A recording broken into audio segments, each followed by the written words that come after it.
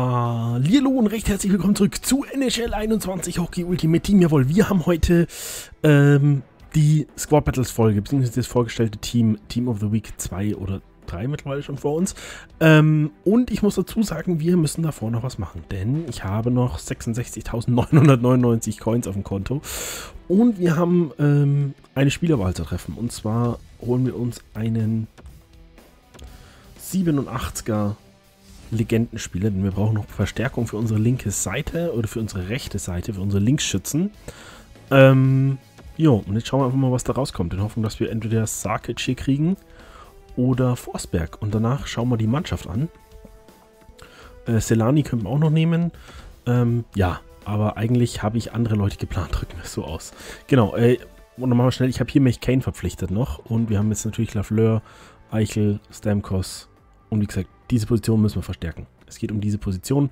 Alle anderen Positionen sind gut. Werensky spielt als vierter oder als fünfter Verteidiger hinten mit. Ähm, genau, aber jetzt da holen wir uns einen Icon-Spieler, bevor wir gegen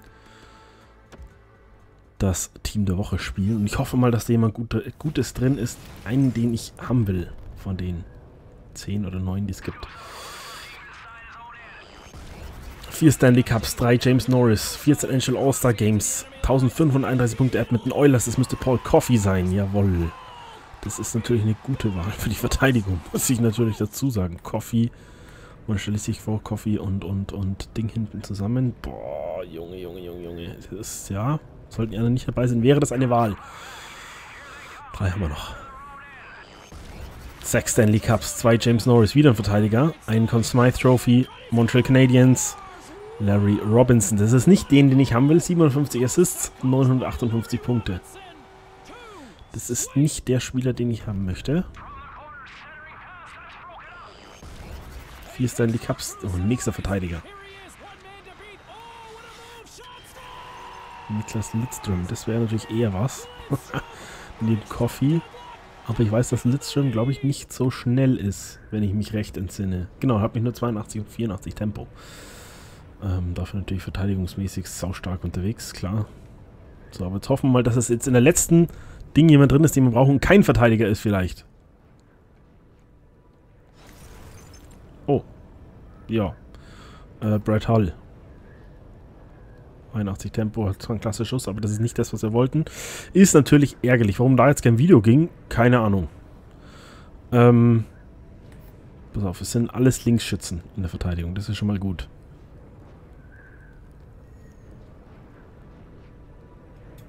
Du hast Tempo 81, Tempo 82, 84 Tempo. Pass mal auf. Jetzt muss ich kurz schauen. Jetzt muss ich kurz schauen. Es gibt eine wundervolle Website, nennt sich Root IQ Compare Players. Ähm, wir müssen entscheiden zwischen Lidstrom und Coffee. Coffee hatten wir ja schon. Compare Players. Na toll. 10-10. Klasse. Skating 3 Punkte für Coffee, 2 für Lidstrom, 2 Punkte für Shooting bei Coffee, Hände 4-0, Defense 5-0, oh, und 3-1 Checking.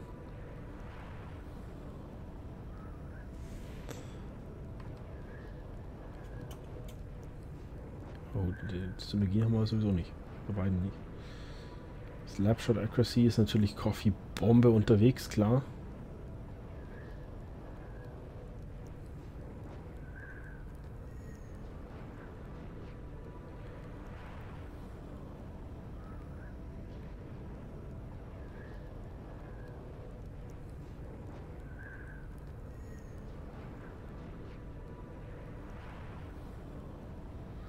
Puh.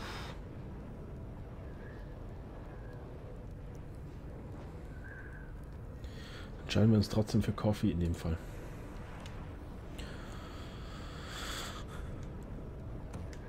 Entscheiden wir uns trotzdem für Coffee.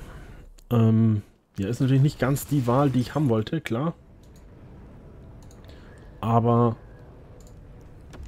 ja, Mei. Kann man nicht wissen, dass man da drei Verteidiger rauszieht. Aber alles gut.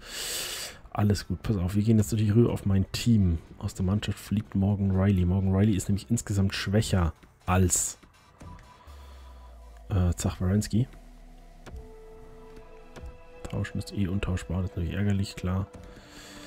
Ein Linksverteidiger. Und zwar nehmen wir da Paul Coffey mit in die Mannschaft. Und der spielt danach auch gleich mal. Freue mich schon drauf. Ähm, genau, Änderung speichern. Haben wir jetzt die 90 endlich? Ne, immer noch nicht. Okay, das ist natürlich ärgerlich. Ähm, pass auf. Gilt natürlich auch für die Verteidigung, gell, dass Paul Coffey da spielt. Wie stark ist eigentlich hintenrum? 84, 89. Das sind natürlich gute Werte für auch fürs Defensive. Viermal Powerplay, klar. Ersetzt der Josi da. Penalty Kill war Josi nicht dabei. Oh, oh, oh, oh. Ja, hat aber bessere Werte als Josi. Da ist es ein bisschen leichter, die, die Entscheidung hier zu treffen. Weil man Wierenski halt auch bessere Werte hat. So, und da trifft natürlich jetzt Suben. Müssen den nächsten Vergleich machen. Suben und Daudi. Wer darf Wer darf hintenrum noch mitspielen? Ähm, Subin oder Daudi? Wer ist da der bessere Spieler? PK Subin, Cover Athlete. Und dann haben wir Daudi, Base Gold. Jawohl. Compare, äh, compare Players. Oh, die Wahl ist einfach für äh, Drew Dowdy.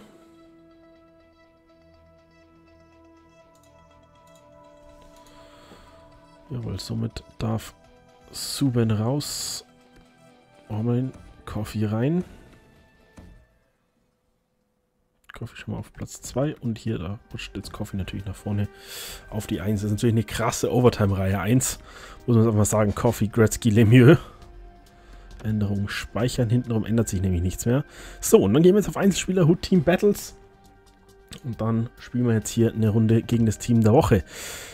Was absolut krass wird. Boah, Junge, Junge, Junge. Also das ist echt eine Bombenmannschaft. Äh, stopp, wir können es uns mal kurz anschauen. Machen wir was wieder vergessen. Bailey, Tavares, Ben, Getzlaff, Dubois, Backlund, Batherson, Anas, Griffith.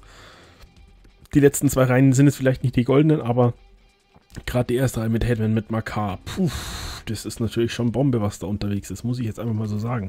Wie viel Tempo hat Hedman eigentlich? Auch nur 83, gell?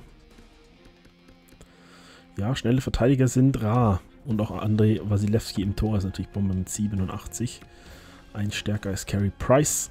Aber das macht nichts. Auf, weiter zum Spiel. Und wir müssen dann einfach wieder über Solo-Battles, über Rivals die Woche wieder Goldspieler sammeln. Hoffnung, dass wir dann nächste Woche wieder ein paar zusammenkriegen. Vielleicht drei Stück. Vielleicht auch vier oder fünf. Müssen wir mal gucken. So. Team of the Week. US-Flagge und Kanada-Trikots.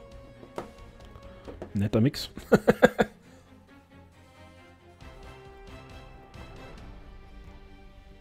Muss man das einfach mal sagen. So.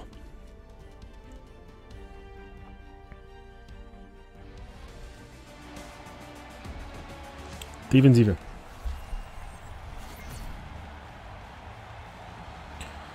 Gretzky gegen Tavares. Auf geht's. Ab in dieses Spiel. Klasse Pass von Coffee.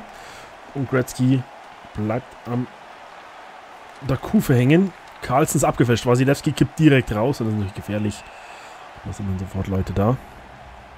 Schnelles Spiel.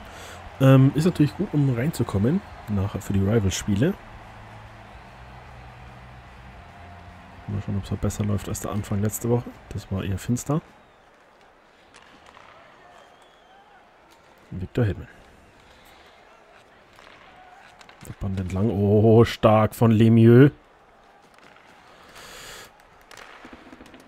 Jo, der geht straight wieder zurück zu Dreiseitel. Ich glaube, den hat er sich anders erhofft. Erik Karlsson. Behaupte ich jetzt einfach mal. Und das ist Josh Bailey. Bailey gegen Lemieux. Gretzky, jetzt müssen wir schauen, dass sie eigentlich mal wechseln kommen.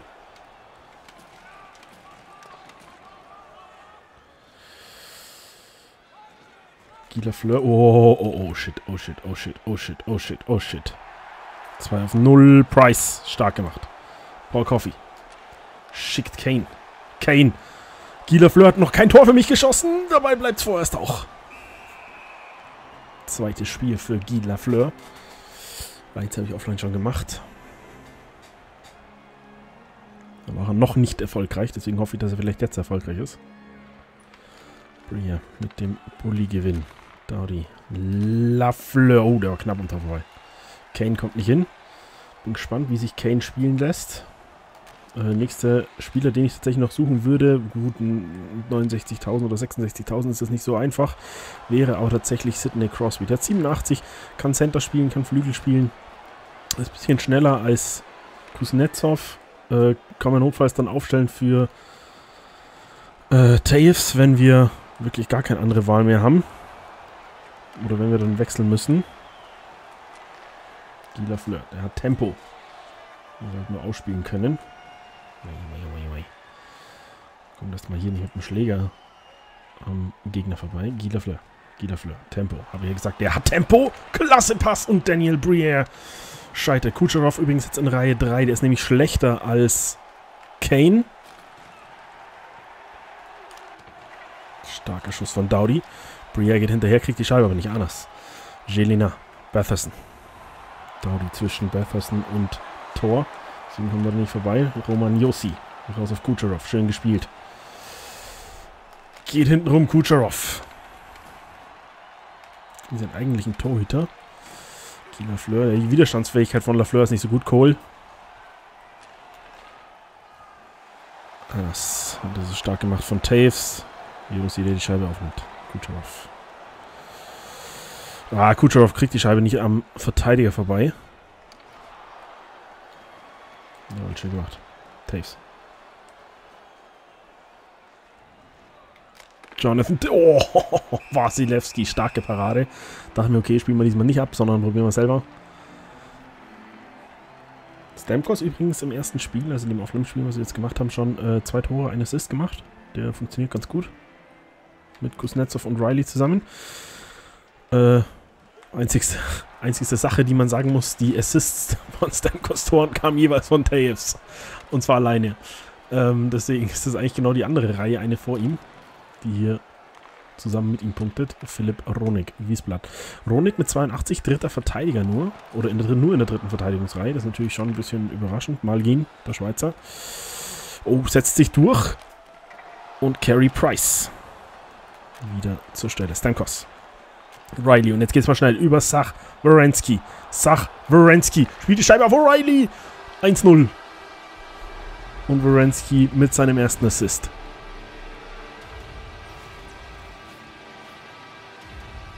Halloween Corporation zusammen mit Grid. Zwei Halloween Assists. Und der Grid-Spieler trifft 1-0 gegen das Team of the Week.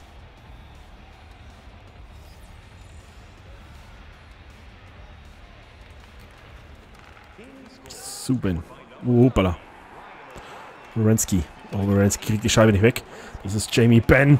Ben und Price. Gut gemacht, dass die Scheibe da trotzdem trotz Kick bei Price landet. Dreiseitel muss doch nur noch den Schläger reinhalten. Das gibt's ja gar nicht. Wasilewski. Oh, Scheibe ist hinterm Tor, habe ich gar nicht gesehen. Ich dachte, Wasilewski hat sie. Und nachdem der Computer reagiert, nicht, re nicht reagiert hat, dachte ich das auch kurz, dass der äh, Computer denkt. das Wasilewski die Scheibe des Abseits. Coffee hilft mit. Es ist gar nicht so schlecht, dass wir jetzt auch einen schnellen, richtig schnellen Verteidiger hinten haben, muss ich, muss ich gestehen mit Coffee. Gut, haben wir jetzt natürlich zwei offensive Verteidiger. Das ist natürlich schon dangerous, gerade online vielleicht. Aber bisher haben wir das noch nicht so als Strafe bekommen. Es ist Abseits, wollte ich gerade sagen. Wenn das jetzt keinen Abseits gegeben hätte, hätte es mich jetzt gewundert. War zwar knapp, aber ja, wir waren draußen. 19 Sekunden noch. 19,7, um ganz genau zu sein.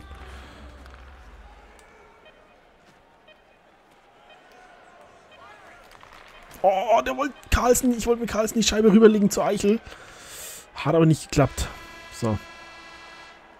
Drittel vorbei. 1-0. Steht nach 20 Minuten. Ab ins zweite Drittel. Mal gucken, wie es da läuft. 9 zu 4 Schüsse. Ist eigentlich ganz gut. Ich hoffe, dass Carey Price nachher genauso hält online.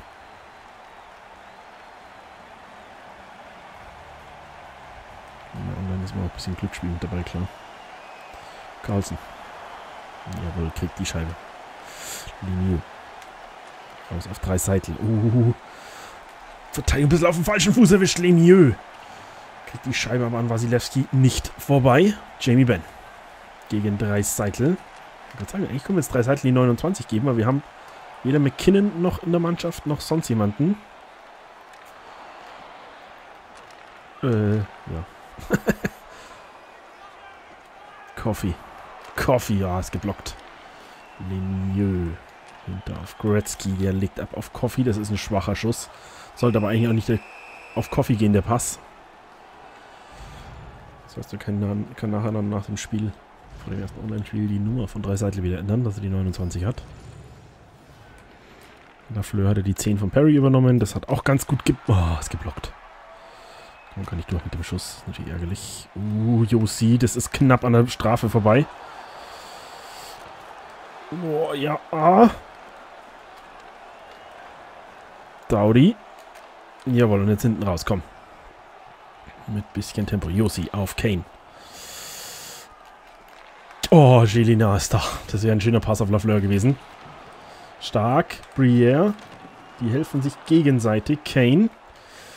Und wieder Daniel Briere.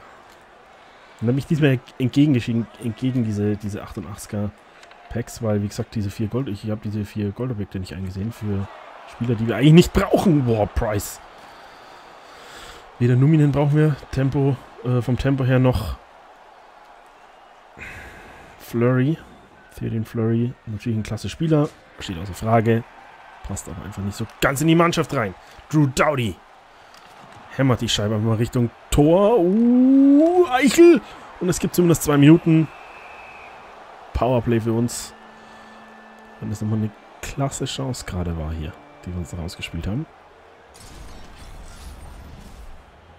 Ronik darf raus, der Tscheche. Ja, das sind zwei Minuten. Absolut korrekte Entscheidung.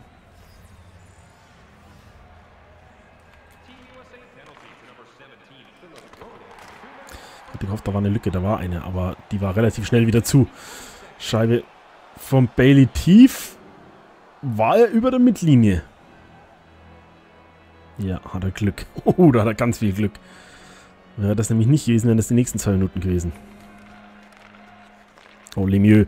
Stark gemacht, stark gemacht. Direkt ausgekontert. Oh, Gretzky kommt nicht hin. Tavares rettet die Scheibe. Ja, nicht so. Ah, Gretzky. Das ist natürlich auch ganz viel Pech. Kommt hin. Dann springt sie ihm genau vor den Füßen praktisch weg. Makar gegen Gretzky. Oh, Tavares. Tavares und das ist klasse rausgespielt in Unterzahl. Boah, da lassen sie uns bluten. Halleluja. Da lassen sie uns ordentlich bluten. Wo machen wir da den Fehler? Wir gehen mit Gretzky drauf. Ah, da, der Wechsel. Tavares raus ist der Fehler. Lemieux und Gretzky auf eine Position. So, und jetzt steht hinten gar keiner mehr. Und jetzt reagiert Coffee nicht. Carlson, beziehungsweise ich, ich bin das, der mit Carlson wegläuft, nicht mehr an. Ja, genau. Weil beim Spielerwechsel halt nicht Lemieux bekommen, sondern Carlson. Ja. Und dann sind wir danach Coffee und der kann auch nichts mehr machen. Ärgerlich, ärgerlich. Wir haben das Spiel eigentlich dominiert bis dato. Alter!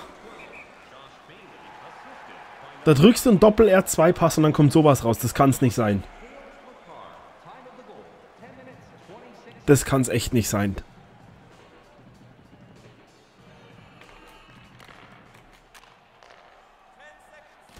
außen verspringt die Scheibe. Kommen aber nicht hin. Powerplay abgelaufen. Wir treffen im Powerplay, im Powerplay nicht ab, unsere Gegner tut Das ist natürlich doppelt ärgerlich für uns. Paul Coffey. Paul Coffey, Lemieux. Oh mein Gott. Muss ich jetzt aber auch nochmal sagen, warum? Kann mir das jetzt irgendjemand erklären, warum da alle wieder auf einen Haufen laufen? Achtung, achtet mal auf äh, Lemieux, Westers, Gretzky und Kucherov. Ist es Kucherov hinten? Ja, ist Kucherov.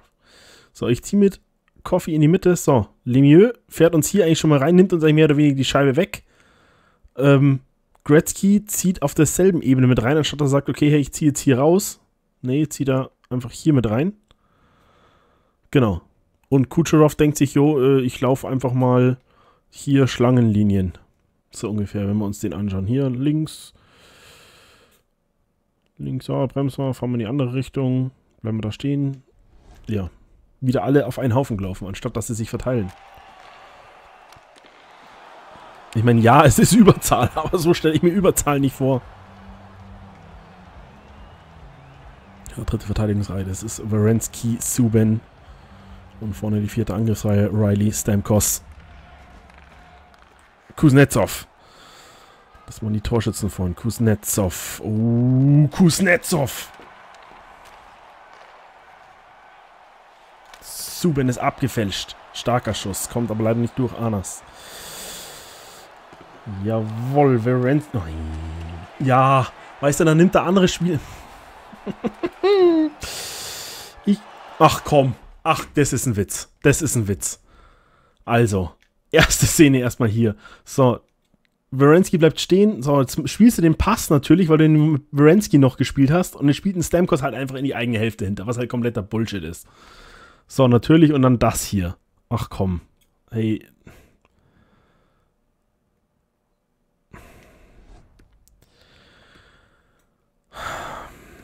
Ja, es kann passieren, aber es ist ärgerlich, wenn die eine 15 Mal aufs Tor knallst und der andere mit einer schlechteren Mannschaft dreimal aufs Tor knallt, gefühlt. Ja, das ist ätzend. Das ist, das muss ich echt sagen, das ist, das ist ätzend. Das müssen sie schauen, dass sie das ändern. Weil das ist echt.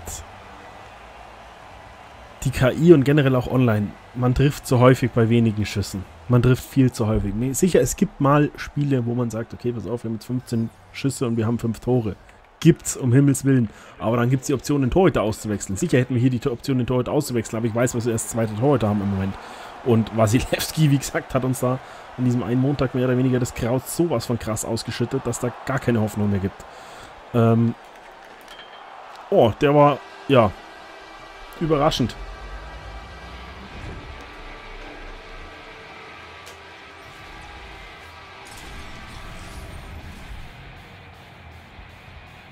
Schön, dass der aus dem Nichts klappt. Ich frage mich nur wie, weil aus dem Winkel hätten wir nicht treffen dürfen.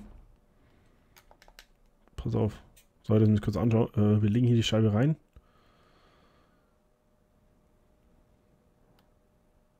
Oh, oh, da haben wir für ganz, ganz viel Glück.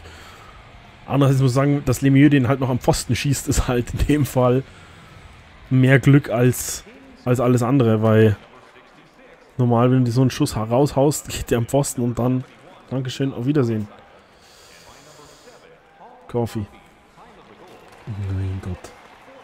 Das gibt's nicht. Du musst die Scheibe spielen, dann drücken sie dich wieder aus zwei Metern Entfernung an die Bande. Kohl. Lemieux. Sieht. Oh, Coffee starten. Das war stark gesehen. Und das ist Gretzky und das ist das dritte.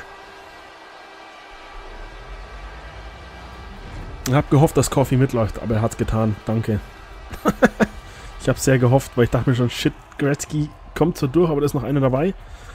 Ja, und das ist, würde ich mal sagen, eine nette erste Reihe. Mit zwei Legenden. Könnten das Ganze noch verstärken. Natürlich eine Lemieux als Center aufstellen. Gretzky rechts. Coffee hinten und dann Lafleur auf die andere Seite. Price ist wieder wach anscheinend. Von seinem Sekundenschlaf, den er vorhin gehabt hat. Stark. Briere. Ah, kommt nicht durch durch die Mitte. Schade. Gut abgelegt. Tavares, Bailey, Makar, das alles offen. Lafleur. Einen von denen, die wir letztes Jahr überhaupt nicht im Team hatten, Lafleur.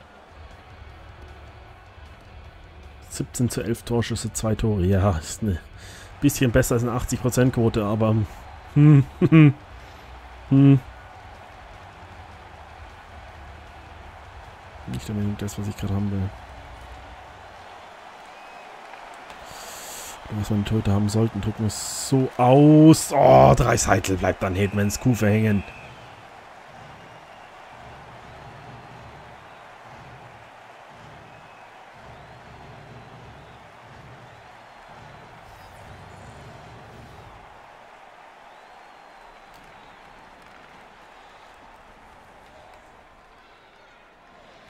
Ursprünglich wollte ich ja statt Coffee, Selani, äh, Forsberg oder Sarkic haben. Das waren die, die ich mir ausgesucht hatte, die wir als Offensivverstärkung gebraucht hätten. Price.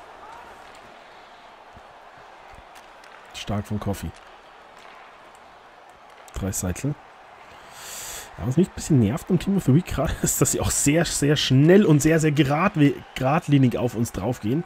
Das ist nämlich überhaupt nicht mein Stil. Da habe ich mir echt Probleme mit. Oh, Coffee kann schießen. Halleluja. Also bisher zumindest. Ich weiß nicht, ob er es online auch kann, aber hier kann er auf jeden Fall schießen. Starker Schuss. Zwei hintereinander. Muss einfach nur so weitergehen, weil online stehen vielleicht nicht so die stärksten Torhüter drin, vermute ich mal. Gut, kann natürlich sein, dass wir natürlich Bombentorhüter wie Wasilewski 87 kriegen und noch gibt es einen 86. Den haben wir noch überlegt zu holen. Gibt es einen 86 Halloween? Das wäre noch eine Verstärkung.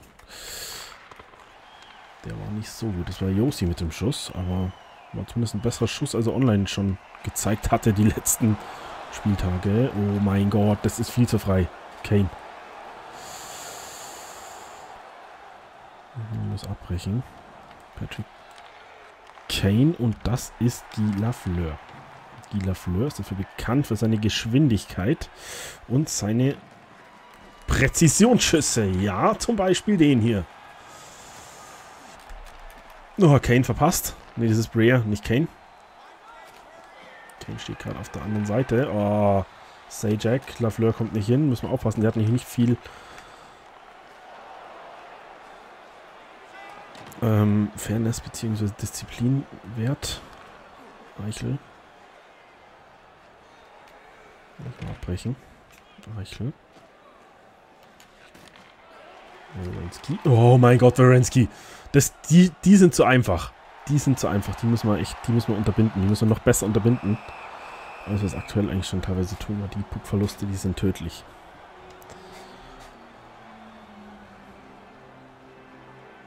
Natürlich, wenn du drum rumkommst und den Verteidiger, hast du natürlich einen Verteidiger weniger vor dir, klar. Aber wenn du das nicht tust...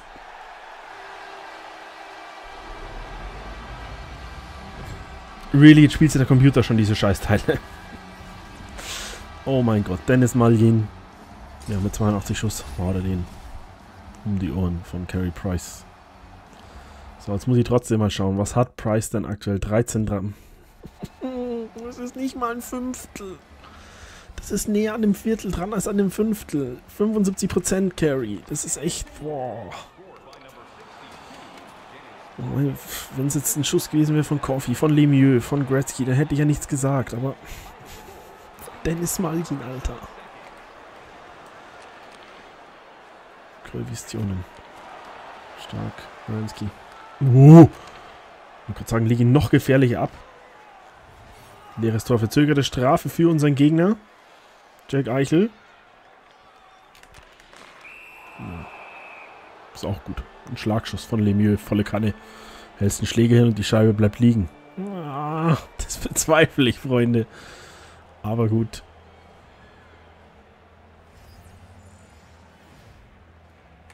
So, nachdem es wieder 3-3 steht, müssen wir uns halt wieder von vorne kämpfen. Lemieux. Ach. Bei uns reicht es. Das ist zwar nicht der Erste, der da rausgeht, gell?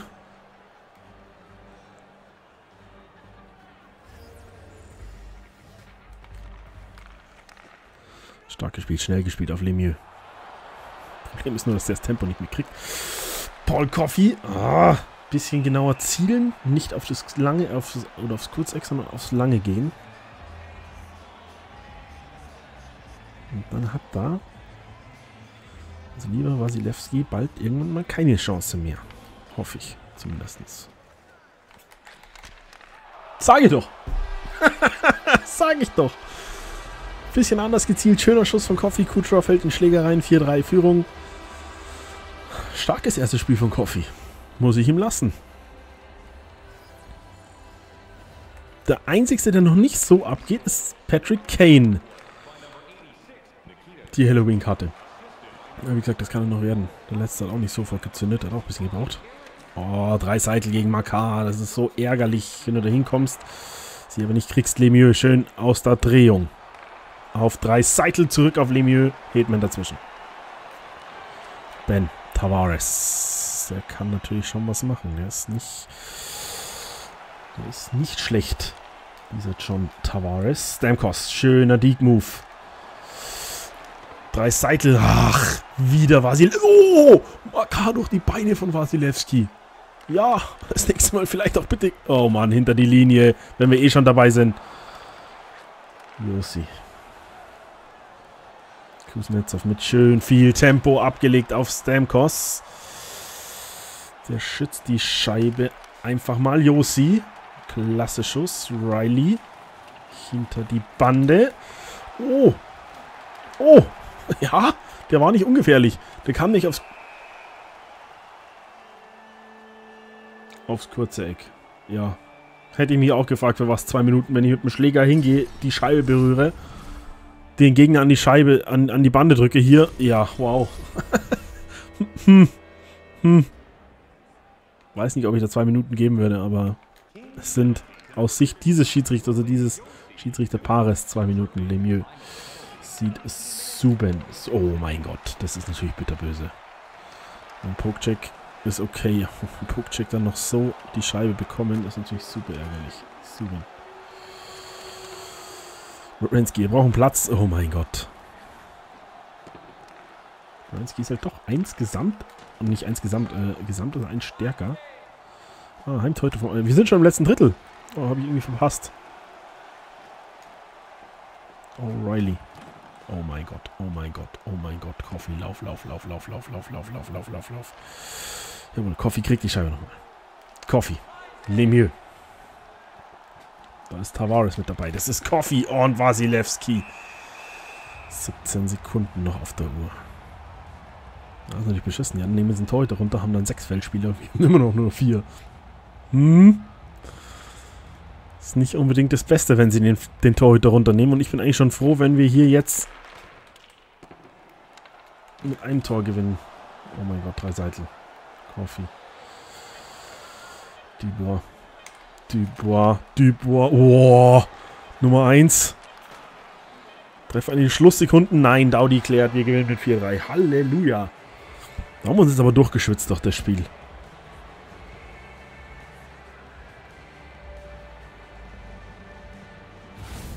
Da haben wir uns jetzt ordentlich durchgeschwitzt.